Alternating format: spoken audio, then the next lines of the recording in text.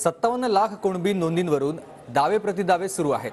शिंदे समितीनं ज्या कुणबी नोंदी शोधल्या त्यातल्या अनेक जुन्याच असल्यामुळे ओबीसींना कोणताही धक्का लागत नाही असा दावा ओबीसी नेते बबनराव तायवाडे यांनी केला आहे तर सत्तावन्न लाखांपैकी किती नोंदी नव्या आहेत आणि किती जुन्या याची माहिती सरकारकडे मागितली होती मात्र त्यांनी ती दिली नाही.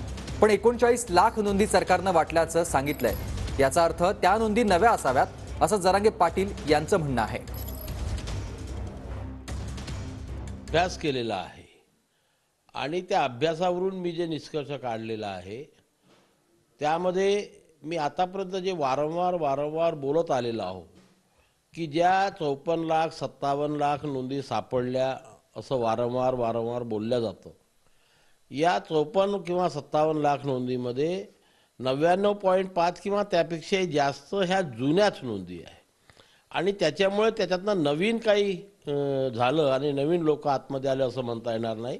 आणि याच्यातनं नवीन काय निष्पन्न झालं? म्हणून आमच्या ओबीसीच्या आरक्षणाला कुठेही धक्का लागलेला नाही या मताचा वर मी ठाम आहे.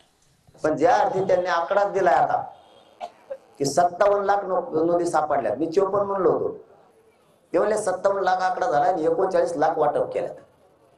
मग मला सांगा आता बरं बाकी सगळ्या जुन्या. एकोणचाळीस लाख का होईना नव्या वाटल्या ना?